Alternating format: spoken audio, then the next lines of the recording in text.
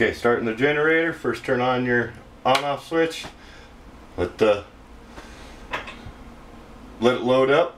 Okay, you'll see zero RPM and a zero circle. Go ahead and press the start button. You'll watch the hourglass go around. As soon as it warms up the glow plugs, it will start the generator.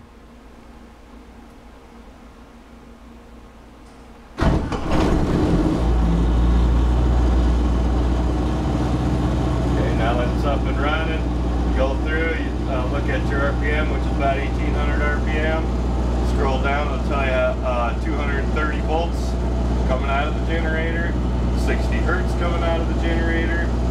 Uh, it'll tell you the hours that it's run on the next click down, which is 1.7.